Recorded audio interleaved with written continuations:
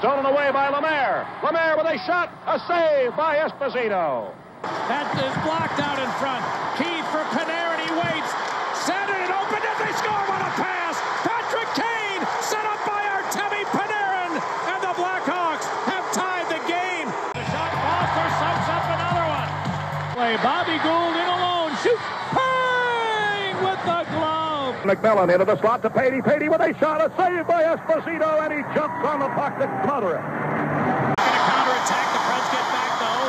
Hossa going wide into the net. He turns behind Slugger. Oh, goal! Marian Hossa! Defense leads to offense. A spectacular play. And both. He wheels around him, gets some help from Pekka Rinne. He was late coming across. Has it go off his toe into the net. Held in by Buffalo. Over to Franson with a shot. Right on the rebound. They score! Jack Eichel finds the open net, rips it home, and Buffalo ties it at two. line. Dropping it back to Berenson. Berenson leads the guy out in front. A shot and a great save by Esposito. And Tony Esposito has made a tremendous game-saving play. Drops it back. Fedorov back to Yzerman.